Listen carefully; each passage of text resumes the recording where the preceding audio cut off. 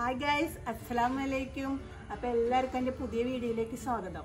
അപ്പോൾ ഞാൻ ഇന്ന് വന്നിട്ടുള്ളത് അഡീനിയത്തിന്റെ ആയിട്ടുള്ള ആയിട്ടുള്ളൊരു വീഡിയോ ആയിട്ടാണ്. നിങ്ങൾക്ക് തമ്മിൽ കണ്ടപ്പോൾ തന്നെ മനസ്സിലായി കാണും. അപ്പോൾ നമുക്ക് അടീനിയത്തെ കുറച്ച് കുറച്ച് കാര്യങ്ങൾ അറിയാം. അപ്പോൾ അടീനിയം എന്ന് പറഞ്ഞാൽ നല്ല വെയിൽ കിട്ടേണ്ട ഒരു ചെടിയാണ്. നമുക്ക് ബോഗ്യമില്ലൊക്കെ പറയുന്ന പോലെ തന്നെ നല്ല വെയിൽ ആവശ്യമാണ് അടീനിയത്തിന് അതുപോലെ വെള്ളം കുറച്ചേ ആവശ്യമുള്ളൂ ആഴ്ചയിൽ ഒരു ദിവസമൊക്കെ വെള്ളം വെള്ളം ആവശ്യമുള്ളൂ വെള്ളം അധികമായി കഴിഞ്ഞിട്ടുണ്ടെങ്കിൽ നമുക്ക് ഇതിന്റെ ഒരു ബൾബുണ്ട് അത് ചീഞ്ഞു പോകാൻ സാധ്യതയുണ്ട്. നല്ല നല്ല ഇതിൽ തന്നെ ബോൺസായി ആയിട്ട് നിർത്താൻ പറ്റിയ ഒരു ചെടിയാണ് നമുക്ക്. അതുപോലെ ഇതിനെ നമുക്ക് ഡെസേർട്ട്സ് റോസ് എന്ന് പറയും. അത് കാരണം മരുഭൂമിയിലെ കാലാവസ്ഥയാണ് കുട്ടികൾക്ക് കൂടുതൽ ഇഷ്ടപ്പെട്ടത്. അതായത് നല്ല ചൂട് അധികം വെള്ളം വേണ്ട അങ്ങനെ ഒരു കാലാവസ്ഥയാണ് ഇവർക്ക് ആവശ്യമുള്ളത്. അതുപോലെ ഇതിനെ നമുക്ക് നല്ല രീതിയിൽ തന്നെ നന്നായി കട്ട് ചെയ്ത് നന്നായിട്ട് ഫ്ലവർ ഉണ്ടാവും. ആ ഫ്ലവർ ഉണ്ടാവുന്ന ടൈമിൽ എന്ന് പറഞ്ഞു കഴിഞ്ഞാൽ പൂക്കൾ കൊണ്ട് നിറഞ്ഞിട്ട് ഇലകൾ കാണില്ല. അപ്പോൾ ഈ സമയത്താണ് നമ്മൾ പ്രൂണിങ് ചെയ്യേണ്ടത്. കൂടുതലായിട്ട് ഡിസംബർ മാസങ്ങളാണ് അല്ല സോറി ഒക്ടോബർ മാസത്തിലാണ് നമുക്ക് പ്രൂൺ ചെയ്യേണ്ടത്. അപ്പോൾ നന്നായിട്ട് നമുക്ക് കമ്പുകളൊക്കെ വന്നിട്ട് അതിൽ നന്നായിട്ട് ഫ്ലവേഴ്സ് ഉണ്ടാവും.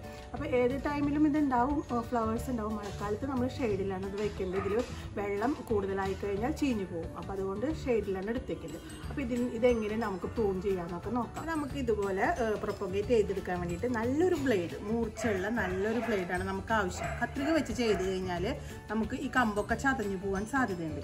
അപ്പോൾ ഇതുപോലത്തെ നല്ല മൂർച്ചയുള്ള ബ്ലേഡ് എടുക്കാം. അപ്പോൾ ഇത് നമുക്ക് പഴയതാണ് പഴയ കത്തിയൊക്കെയാണ് യൂസ് ചെയ്യുന്നുണ്ടെങ്കിൽ സ്റ്റെറിലൈസ് ചെയ്യുക.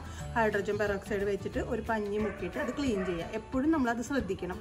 എപ്പോഴും സ്റ്റെറിലൈസ് ചെയ്തിട്ടുള്ളത് എടുക്കണം. അല്ലെങ്കിൽ ഇതിൽ ഇൻഫെക്ഷൻ വരാൻ സാധ്യതയുണ്ട്. അപ്പോൾ നമ്മൾ ഇതുപോലത്തെ ഒരു കമ്പാണ് എടുക്കുന്നത്. അപ്പോൾ ഇതിൽ കണ്ടില്ലേ? ഇതിപ്പോൾ ഞാൻ കഴിഞ്ഞതിന് മുന്നത്തെ മാസം പ്രൂൺ ചെയ്തിട്ട് വന്ന തണ്ടുകളാണ്. ഇത് ഒരു തണ്ടിൽ നിന്ന് കട്ട് ചെയ്തിട്ട് നോക്ക് ആറ് പീസ് അഞ്ച് പീസാണ് വന്നിട്ടുള്ളത്.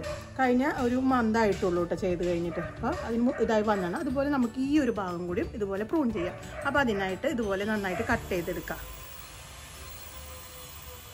കട്ട് ചെയ്യുമ്പോൾ എപ്പോഴും നമുക്ക് രണ്ട് ഇഞ്ച് വ്യത്യാസത്തിൽ വേണം കട്ട് ചെയ്തെടുക്കാൻ. കാരണം എന്താണെന്ന് വെച്ചാൽ അതിന്റെ നോഡിൽ നിന്ന് നമുക്ക് പുതിയ ചെടികൾ വന്നിട്ടുള്ളതാണ് അപ്പോൾ അതുകൊണ്ട് രണ്ട് ഇഞ്ച് ഇതിൽ നിന്ന് കട്ട് ചെയ്തെടുക്കാം. അപ്പോൾ നമ്മൾ ഇത് നന്നായിട്ട് കട്ട് ചെയ്തിട്ട് എടുത്തിട്ടുണ്ട്. ഇതുപോലത്തെ ഒരു പീസാണ് അപ്പോൾ ഇതിന്റെ ഈ പശയൊക്കെ നമ്മളൊരു നല്ല തുണിയായിട്ട് തുടച്ചെടുക്കണം. എന്നിട്ട് നമ്മൾ ഇതിലേക്ക് ഒരു ഏതെങ്കിലും ഒരു ഫംഗിസൈഡ് കൊടുക്കണം. ഞാനിപ്പോൾ കൊടുക്കുന്നത് സ്യൂഡോമോണസ് ആണ്. അല്ലെങ്കിൽ അതിന് ഫംഗസ് കയറിയിട്ട് ഇതിന്റെ ഉള്ളിലൊക്കെ ചീ ഫംഗസ് കയറിയിട്ട് ഇത് ചീഞ്ഞു പോകാൻ സാധ്യതയുണ്ട്. പിന്നെ അതുപോലെ വെള്ളം തട്ടാൻ പാടില്ല.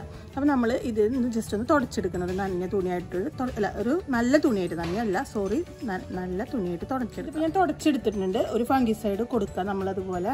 അല്ലെങ്കിൽ കറുകപ്പെട്ടായാലും മതി. എന്നിട്ട് നമ്മളൊരു മെഴുകുതിരി ഉറ്റിച്ച് കൊടുക്കുക അതിന്. അതെന്തിനാന്ന് വെച്ചാൽ വെള്ളം കയറാണ്ടിരിക്കാൻ വേണ്ടിയിട്ടാണ് മെഴുകുതിരി ഒറ്റിച്ചു കൊടുക്കുന്നത് ഈ കൈ കൊണ്ട് നന്നായിട്ട് അത് ഫുള്ളായിട്ട് കവർ ചെയ്ത് കൊടുക്കുക. ഇനി നമുക്ക് ഇത് വിത്തിൽ നിന്നും ഉണ്ടാക്കുക. ഇതിനൊരു വിത്ത് ഉണ്ടാവും. അത് എങ്ങനെയെന്ന് വെച്ചാൽ ആ വിത്ത് ഉണ്ടായി കഴിഞ്ഞിട്ടുണ്ടെങ്കിൽ പൂ ഉണ്ടായി കഴിഞ്ഞാൽ അതിന്റെ വിത്ത് ഉണ്ടാവും.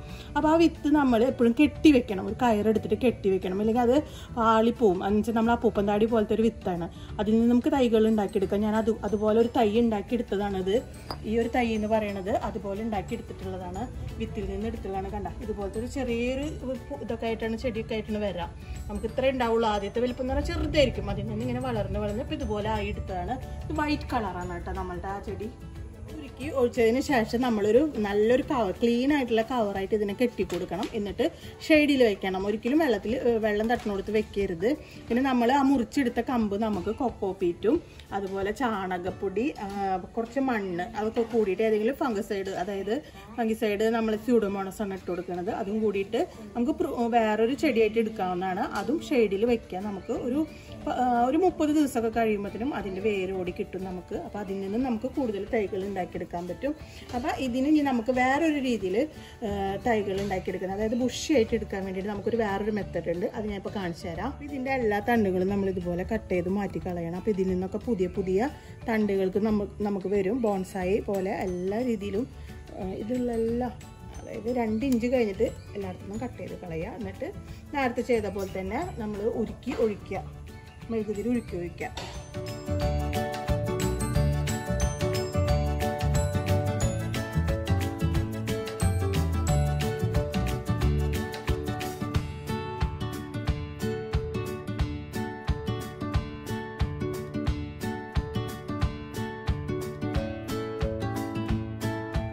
ഇതുപോലത്തെ നല്ലൊരു കട്ടിയുള്ള ബൾബുള്ള ഒരു തൈ എടുക്കുക നമ്മൾ എന്നിട്ട് ഇതിനെ നമ്മൾ വി ഷേപ്പിൽ കട്ട് ചെയ്ത് കൊടുക്കുകയാണ് ചെയ്യണത്. ഇതുപോലെ നല്ല രീതിയിൽ ആഴത്തിൽ തന്നെ നന്നായിട്ട് വി ഷേപ്പിൽ കട്ട് ചെയ്ത് കൊടുക്കാം. അപ്പോൾ ഇതുപോലെ കട്ട് ചെയ്തെടുക്കുക. അതുപോലെ നമ്മൾ നേരത്തെ മുറിച്ചെടുത്തത് ഇതുപോലെ ഒരു വി ഷേപ്പിൽ കട്ട് ചെയ്തെടുക്കുക. എന്നിട്ട് ഇതിനെ രണ്ടിനും ഇതുപോലെ ഒരു ഭാഗത്ത് വെച്ചിട്ട് നമ്മൾ സാലോ ടാപ്പ് ഇല്ലേ സാലോ ടാപ്പ് വെച്ചിട്ട് അതിനെ റോൾ ചെയ്തെടുക്കുകയാണ് ചെയ്യണത്. സെലോ ആയിട്ട് നമ്മൾ ഫുള്ള് കവർ ചെയ്ത് കൊടുക്കുകയാണ്. തീരെ വെള്ളം കയറാൻ പാടില്ല. നല്ല ടൈറ്റിൽ തന്നെ നമ്മൾ ചെയ്ത് കൊടുക്കണം.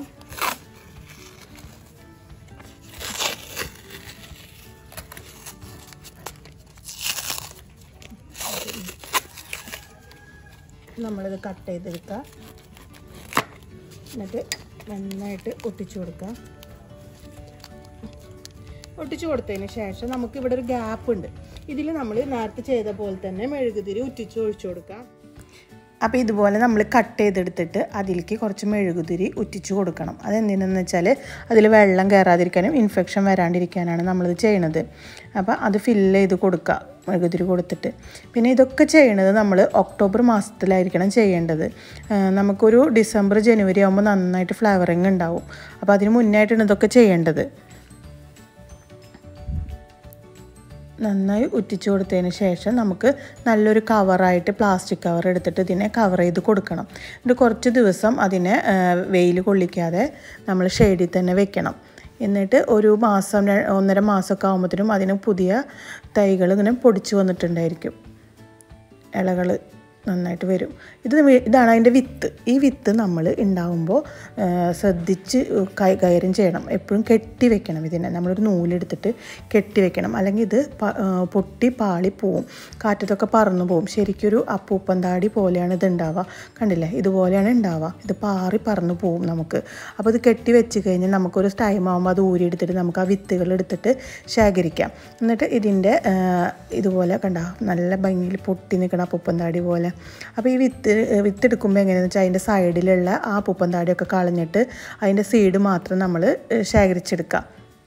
എന്നിട്ട് അത് നമ്മൾ എങ്ങനെ യൂസ് ചെയ്യണമെന്ന് വെച്ചാൽ നമുക്ക് ഒന്നുണ്ടെങ്കിൽ കോട്ടൺ നനച്ചിട്ട് അതിൽ നമുക്ക് മുളപ്പിച്ചെടുക്കുക. അതല്ലെങ്കിൽ കൊക്കോ പീറ്റിൽ ചെറുതായിട്ട് നനവ് കൊടുത്തിട്ട് അതിൽ നിന്ന് മുളപ്പിച്ചെടുക്കുക. എന്നിട്ട് അപ്പോൾ നല്ല മുള വന്നതിന് ശേഷം കുറച്ച് വലുതായി കണ്ട ഇതിപ്പോൾ ഞാൻ കൊക്കോ പീറ്റിലാണ് ചെയ്തെടുത്തുള്ളത്. കുറച്ച് വലുതായി കുറച്ച് നന്നായി ഇലകളൊക്കെ വന്നതിന് ശേഷം നമുക്ക് റിപ്പോർട്ട് ചെയ്തെടുക്കുക വേറെ ഇതിലേക്ക് അപ്പോൾ റിപ്പോർട്ട് ചെയ്യുമ്പോൾ അതിന് വേണ്ട മിക്സ് എന്ന് പറയുന്നത് കുറച്ച് കൊക്കോ പീറ്റ് വേണം അതുപോലെ നല്ല മണൽ വേണം. പിന്നെ മണ്ണ് നമ്മൾ സാധാ ഉപയോഗിക്കുന്ന ഗാർഡൻ സോയിൽ എടുക്കുക അതുപോലെ കുറച്ച് ചാണകപ്പൊടി. ഇതെല്ലാം കൂടിയിട്ടാണ് നമ്മൾ റിപ്പോർട്ട് ചെയ്തെടുക്കേണ്ടത്. അപ്പോൾ കുറച്ചും കൂടി കഴിയണം കേട്ടോ സമയം. അപ്പോൾ ഇതിലിപ്പോൾ നമ്മൾ സാധാ മണ്ണ് അതുപോലെ കൊക്കോ പീറ്റാണ് എടുത്തുള്ളത്. ഇനി ചകിരി. അല്ല സോറി ചാണകപ്പൊടിയാണ് ഇതിൽ യൂസ് ചെയ്യണത്. ഇത് എല്ലാം കൂടിയിട്ട് ജസ്റ്റ് ഒന്ന് മിക്സ് ചെയ്തതിന് ശേഷം നമുക്ക് ഇതുപോലത്തെ കമ്പുകൾ കണ്ട അടീനത്തിന്റെ ഓരോ കമ്പുകളാണ് നമ്മൾ നേരത്തെ കട്ട് ചെയ്തെടുത്തില്ലേ? ഇനി നേരത്തെ കണ്ട എല്ലാ ചെടികളും കട്ട് ചെയ്ത് വെച്ചിട്ടുണ്ട് പ്രൂൺ ചെയ്യാൻ വേണ്ടിയിട്ട്. അപ്പോൾ ഓരോന്ന് ഓരോന്നും ഇങ്ങനത്തെ ചട്ടിയിലാക്കി വെക്കാൻ പോവാണ്. അപ്പോൾ ഇതുപോലെ ആക്കിയതിന് ശേഷം നമ്മൾ ഇതുപോലെ ഒരു ഹോൾ കൊടുത്തിട്ട് അതിൽ വെച്ച് കൊടുത്തിട്ട് ഇതാക്കിയെടുക്കാം. ജസ്റ്റ് ഒന്ന് അമർത്തി കൊടുത്തിട്ട് കുറച്ച് വെള്ളം ആഡ് ചെയ്ത് കൊടുക്കുക കുറച്ച് സ്പ്രേ ചെയ്ത് കൊടുത്താൽ മതി. അധികം വെള്ളം നിർത്തരുത്. പിന്നെ അതുപോലെ ഷെയ്ഡിലാണ് ഇത് വെക്കേണ്ടത്. അതും മറക്കരുത്. അപ്പോൾ ഒരു കുറച്ച് ഒരു പത്ത് പതിനഞ്ച് മുപ്പത് ദിവസം കഴിയുമ്പോഴത്തേനും നമുക്കിതിൽ നന്നായിട്ട് വേരോടി വരുന്നതായിരിക്കും. ഇതിലേക്ക് നൈട്രജൻ അടങ്ങിയ വളങ്ങളാണ് നമ്മൾ കൊടുക്കുക. അതല്ലെങ്കിൽ നമുക്ക് പതിനെട്ട് പതിനെട്ട് പതിനെട്ട് എന്നുള്ള വളം കൊടുക്കാം. അപ്പോൾ നന്നായിട്ട് ഫ്ലവറിങ് വരും നമുക്ക്. അപ്പോൾ ഇലകളൊക്കെ നന്നായി വന്നതിന് ശേഷമാണ് ചെയ്യേണ്ടത്. അപ്പോൾ എല്ലാവർക്കും എന്റെ വീഡിയോ ഇഷ്ടപ്പെട്ടു എന്ന് വിചാരിക്കുന്നു. വീഡിയോ ഇഷ്ടപ്പെട്ടാൽ ലൈക്ക് കൊടുക്കുക കമന്റ് ഷെയർ കൊടുക്കുക. അതുപോലെ സബ്സ്ക്രൈബ് ചെയ്ത് ആരെങ്കിലും കാണുന്നുണ്ടെങ്കിൽ സബ്സ്ക്രൈബ് ചെയ്യുക. അപ്പോൾ വീണ്ടും നല്ലൊരു വീഡിയോയുമായി വരുന്നവരെ ബൈ ബൈ